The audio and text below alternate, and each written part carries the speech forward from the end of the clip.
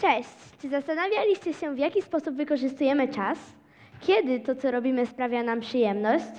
Ile czasu poświęcamy na rzeczy, które naprawdę lubimy, a ile czasu poświęcamy na obowiązki? Rano wstajemy, idziemy na śniadanie, jemy śniadanie, idziemy do szkoły, wracamy ze szkoły, jemy obiad, robimy lekcje i idziemy spać.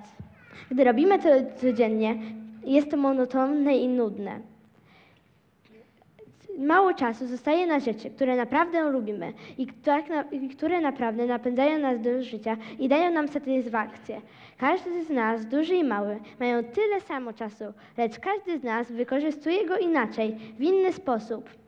Niestety czas jest ograniczony i musimy już jako dzieci umieć go wykorzystać. Mam wiele zainteresowań. Kiedyś, gdy byłam mała, miałam dużo zajęć dodatkowych, na które chciałam chodzić. Po jakimś czasie te zajęcia przestały, mnie tak, przestały być dla mnie tak przyjemne, ponieważ byłam zmęczona. Nie miałam czasu na inne rzeczy, a gdy wracałam do domu, musiałam od razu kłaść się spać. Musiałam dokonać wyboru i zostawiłam tylko niektóre. Teraz najważniejszy jest dla mnie dziecięcy zespół folklorystyczny Cepelia Poznań, na który, na który chodzę 7 godzin w tygodniu. 4 godziny tańca, dwie śpiewu i jedna fletu. Oprócz zajęć mamy też koncerty, które zajmują nam też dużo czasu. Trudno zgrać to wszystko, aby wszystko miało ręce i nogi. Pływalnia najpierw. Pływalnia zajmuje mi jedną godzinę w tygodniu. Kiedyś zajmowała mi trochę więcej, no ale było tego za dużo. Szyciem. Szyciem zajmuję się wtedy, kiedy mam czas i kiedy mogę to zrobić. Na przykład ta spódniczka, którą mam teraz na sobie, sama ją uszyłam. A tutaj mam sukienkę. Jest taka, że mogę ją cały czas założyć. Szycie bardzo mnie fascynowało. No więc mama znalazła w Poznaniu kawiarenkę szyciową Nitkę, do której chodziłam. Przez całe, przez całe pół roku chodziłam na kurs i dużo się nauczyłam. Uszyłam torebkę, piórnik, lalkę, spodnie, spódniczkę, bluzkę, sukienkę. Bardzo mnie to zaciekawiło. Na, na pewno ważni są rodzice, którzy pomagają nam wybrać to, co najbardziej lubimy.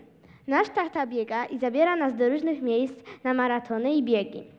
Na, maratonie i, na maratonach i biegach byliśmy już w Krakowie, w Poznaniu, w Madrycie, Budapeszcie, w Rzymie i w Niemczech. Bardzo mnie zaciekawiło bieganie. I dzięki temu, że tata biegał i, i dał nam inspirację, teraz zaczynam myśleć o triatlonie dla dzieci. Tri- Triatlon to bieganie, pływanie i jazda na rowerze. Bardzo lubię pływać i bardzo mi to dobrze wychodzi. Lubię jeździć na rowerze i biegam. Myślę, że dobrze mi pójdzie. Kolejne. Pospo- bardzo zainteresowały mnie podróże po przeczytaniu książki Łukasza Wierzbickiego Afryka Kazika. Spotkałam się z panem Łukaszem. To spotkanie bardzo mnie za- zaciekawiło. Pan Łukasz napisał książkę Afryka Kazika na podstawie książki Kazimierza Nowaka. Bardzo mnie to ciekawiło, jak pan, pan Łukasz opowiadał o tym. Pan Łukasz sam przebył kawałek trasy, którą wcześniej przebył Kazimierz Nowak. Pan Łukasz podróżuje i w ten sposób spełnia swoje marzenia. A, no ale pomy, pomyślmy, ko, dla kogo z Was szkoła jest nudna? Widzę, że dużo osób. Dlatego w Poznaniu, dlatego szukaliśmy szkoły, która będzie dawała mi więcej czasu na zainteresowania i więcej czasu wolnego. Niestety w Poznaniu jej jeszcze nie znaleźliśmy, ale znaleźliśmy ludzi, którzy myślą podobnie jak my. Od września pójdę do szkoły demokratycznej trampoliny. Szkoły, gdzie nie będzie lekcji, zadań domowych i stresu. Szkoły, gdzie będę mogła poświęcać dużo czasu na to, co chcę robić. Już nie mogę doczekać się, gdy pójdę do tej szkoły od września. Mam nadzieję, że ten projekt będzie bardzo dobry. Bardzo ciekawie jest robić coś od samego początku, coś od nowa, stworzyć coś, gdzie z którego potem będę mogła korzystać. Dziękuję.